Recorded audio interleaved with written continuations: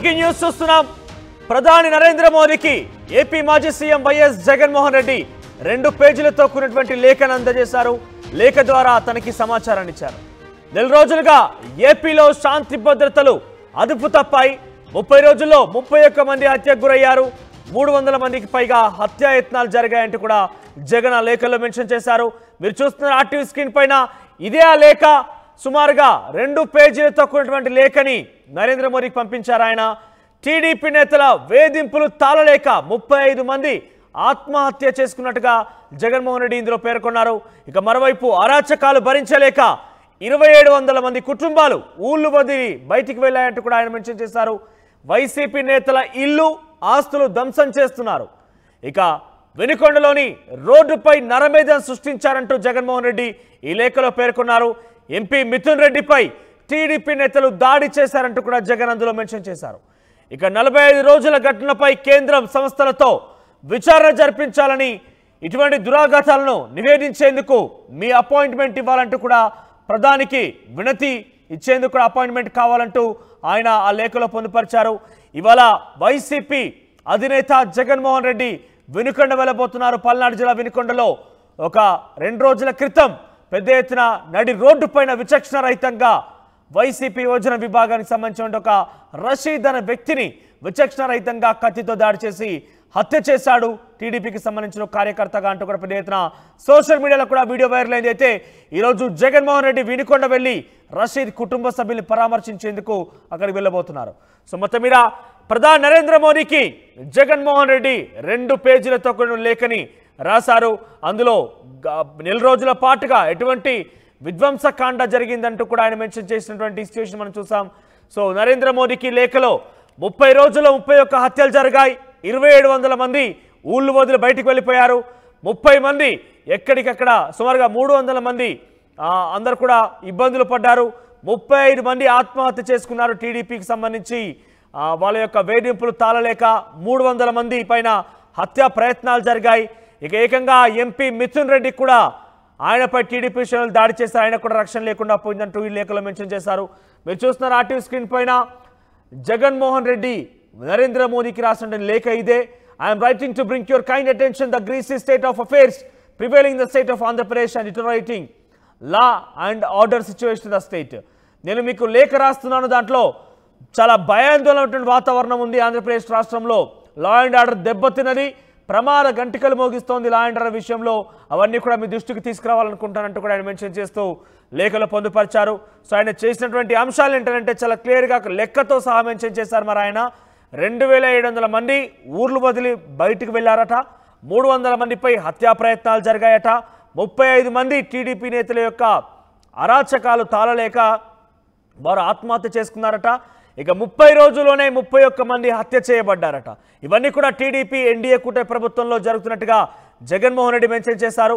మరి దీనికి సంబంధించి ప్రభుత్వం అంటే కేంద్ర ప్రభుత్వం ప్రధాని మోదీకే లేఖ రాశారు కాబట్టి ఆయన రియాక్షన్ ఏముంటుందో చూడాల్సిన అవసరం అయితే ఉంటుంది. అయితే ఈ రోజు జగన్మోహన్ రెడ్డి వినుకొండ వెళ్ళబోతున్నారు. వినుకొండలో ఒక హత్యకు సంబంధించిన అంశం జరిగింది. అక్కడ రషీద్పై జిలాని అనే ఒక వ్యక్తి విచక్షణ రహితంగా నడి రోడ్డుపైన కత్తితో దాడి చేసి చంపేయడం జరిగింది. అయితే మృతుడు రషీద్ కుటుంబాన్ని పరామర్శించేందుకు పల్నాడు జిల్లా వెనుకొండ వెళ్ళబోతున్న నర్సరావుపేట చిలకలూరుపేట మీదుగా ఆ బైపాస్ మీదుగా ఆయన నేరుగా రోడ్డు మార్గాన్నే అండ్ పల్నాడులోని వినుకొండకు చేరుకుంటారు జగన్మోహన్ రెడ్డి. అయితే ఇప్పటికే అక్కడ శాంతి భద్రతల విఘాతం కలిగింది. వన్ ఫార్టీ ఫోర్ సెక్షన్ అమల్లో ఉంది. సో ఎక్కడ చూసినా కూడా పోలీసులు పెద్ద ఎత్తున మోహరించి ఉన్నారు.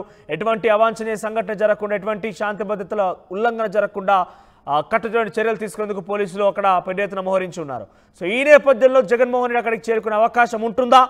జగన్మోహన్ రెడ్డి అక్కడికి వస్తే కనుక డెఫినెట్గా వైసీపీ నేతల్లో ఉత్సాహం ధైర్యం వస్తోంది. దీంతో ఎటువంటి అవాంఛనీయ సంఘటన జరిగే అవకాశం కూడా ఉందంటగా పోలీసులు భావిస్తున్నారు. ఈ నేపథ్యంలో అటువంటి సిచ్యువేషన్ ఉంటుందా అని చూడాల్సిన అవసరం అయితే ఉంది. రైట్ పెద్ద ఎత్తున అక్కడ ఆందోళన కలిగిస్తోంది. ఎటువంటి సిచ్యువేషన్ జరగబోతుంది అనేది సో ప్రధాని మోదీకి లేఖ ద్వారా జగన్ ఇచ్చిన సమాచారానికి మోదీ కానీ అమిత్ షా కానీ లేకుంటే ఎన్డీఏ కూటమి ప్రభుత్వం కానీ లేకుంటే బీజేపీ ప్రభుత్వం కానీ ఏ రకంగా రియాక్ట్ కాబోతున్నా చూడాల్సిన అవసరం అయితే ఉంది. ఎస్ దీనికి సంబంధించి మరింత సమాచారం ప్రతినిధి రాజేష్ అందిస్తారు. ఎస్ రాజేష్ జగన్మోహన్ రెడ్డి ప్రధాని మోదీకి రాసినటువంటి లేఖలో చాలా వరకు లెక్కలతో సహా ఆయన కొన్ని అంశాలు పొందుపరిచారు. సో ఈ నేపథ్యంలో ఎటువంటి రియాక్షన్ రాబోతోంది? వైసీపీ కానీ ఎన్డీఏ కూటమి నేతలు ప్రస్తుతం ప్రభుత్వంలో పవన్ కళ్యాణ్ చంద్రబాబు ఇతరత్ర ఎమ్మెల్యేలు ఎంపీలు ఏం స్పందిస్తున్నారు? ఏ రకంగా రియాక్ట్ అవుతున్నారు?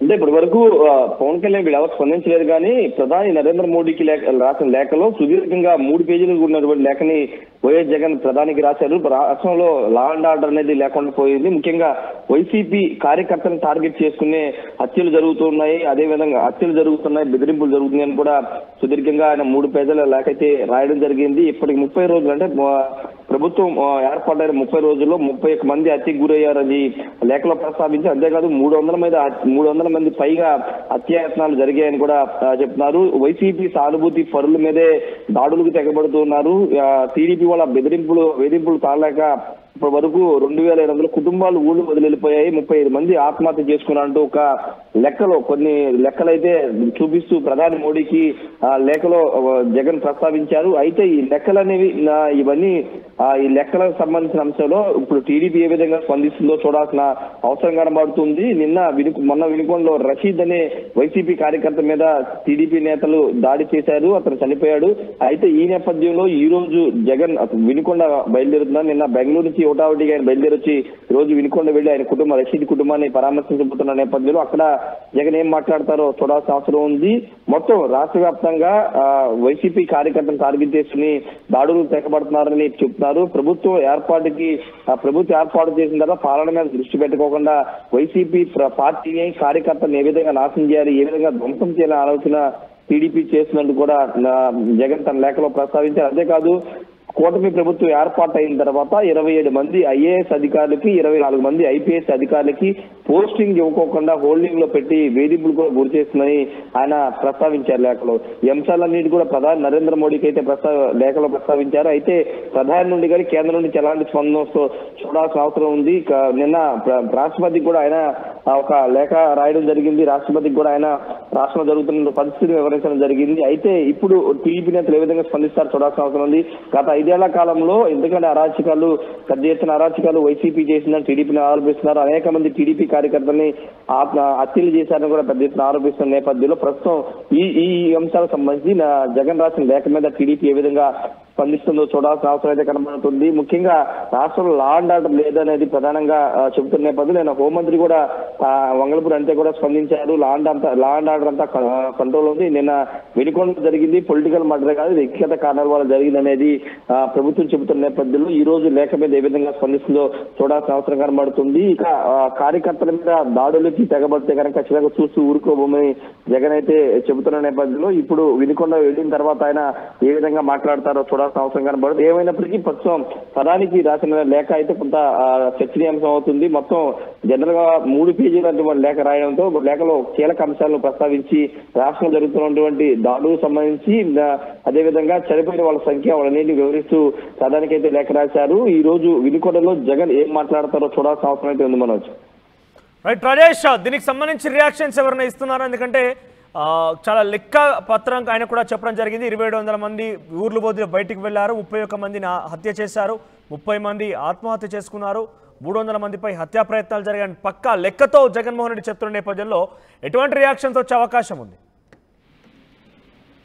రియాక్షన్స్ అంటే ప్రస్తుతానికి చంద్ర అవన్నీ అది వాళ్ళు వైసీపీ వాళ్ళు చెప్తున్న లెక్కలన్నీ అది అధికారికంగా జరిగే లేకపోతే పోలీస్ రికార్డ్స్లో నమోదైనయా కాదా? లేకపోతే అది కేవలం రాజకీయ కక్షతో జరిగినాయా లేదనేది నిర్ధారించాల్సి ఉంటుంది. పోలీసులు అయితే ఇప్పటివరకు ఇవన్నీ కూడా వ్యక్తిగత కారణాలతో జరిగినటువంటి హత్యలని పోలీసులు చెప్తున్నారు. కొన్ని రాజకీయ కారణాలతో జరిగినవి ఉన్నాయి. కానీ ఇవన్నీ జగన్ వైసీపీ జగన్ అధినేత జగన్ రాసిన లేఖలో ప్రస్తావించిన అంశాలన్నీ అవి పోలీసు రికార్డులో నమోదైనవి కాదు. అవి ఇవన్నీ కూడా వేరే వ్యక్తిగత కారణాలతో జరిగిన హత్యలు కానీ దాడులు అవి- అవి కూడా వైసీపీ తమ ఖాతాలు వేసుకుని తమ కార్యకర్తలు అనే విధంగా ఇవన్నీ చెబుతుందనే ఒక వాదన కూడా టీడీపీ చెప్తుంది కాబట్టి పోలీసుల రికార్డులో నమోదైనటువంటి పోలీసులు నిర్ధారించాల్సి. ఉంటుంది అవి వ్యక్తిగత కారణాలు ఉన్నాయా లేకపోతే రాజకీయ కక్షల వల్ల జరిగిన కారణాల వల్ల జరిగినాయి అనేది పోలీసులు నిర్ధారించాల్సి ఉంటుంది కాబట్టి అవి వాటి వాటినే అధికారికంగా చెప్తారు కాబట్టి ప్రభుత్వం అధికారికంగా చెప్పే లెక్కలు వేరేగా ఉంటాయి. ఇప్పుడు వైసీపీ చెప్తుంది ఈ లెక్కలు మాత్రం.